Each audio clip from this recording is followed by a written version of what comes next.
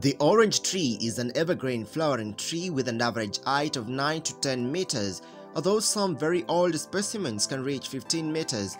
Its oval leaves alternatively arranged 4 to 10 centimeters long and have crenulate margins. Oranges can thrive in a wide range of soil and climatic conditions. Citrus is grown from sea level up to an altitude of 2100 meters, but for optimal growth the temperature range from 2 degrees to 30 degrees centigrade is ideal. Temperature plays an important role in the production of high quality fruit. Typical coloring of fruits takes place if night temperatures are about 14 degrees centigrade coupled with low humidity during ripening time. Exposure to strong winds and temperatures above 38 degrees centigrade may cause fruit drop, scaring and scorching of fruits.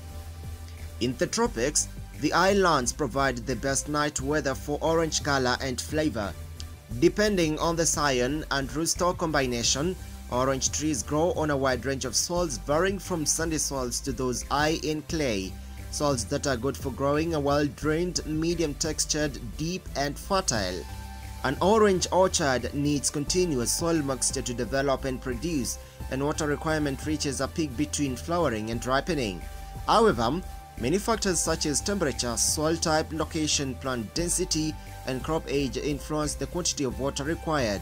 Well-distributed annual rainfall of not less than a thousand millimeter is needed for fair crop. In most cases, due to dry spells, irrigation is necessary. Under rain-fed conditions, Flowering is seasonal. There is a positive correlation between the onset of rainy season and flower break. With irrigation flowering and peaking season could be controlled by water application during dry seasons.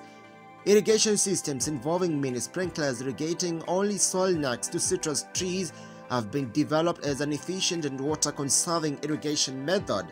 During planting, use well-rotted manure with topsoil. In most cases, tropical soils are low in organic matter.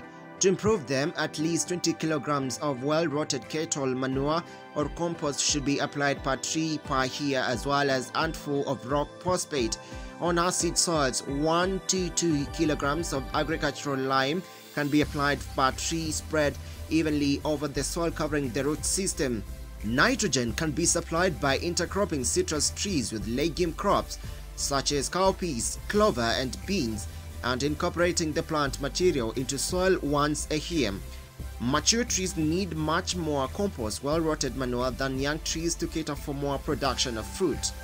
A spot check in the fruit market in Nairobi, Nakuru and Eldoret has revealed that 93 kilogram bag of oranges is retailing at an average price of 4,460 shillings. Among the three markets observed, Nairobi are the cheapest prices of oranges with a 93 kilogram bag retailing at an average of 3,800 shillings, meaning that a kilogram of the fruit is being sold at roughly 40 shillings. In Nakuru and Eldoret, the prices of oranges are dramatically high as compared to Nairobi with a 93 kilogram bag retailing at 4,800 shillings in both towns.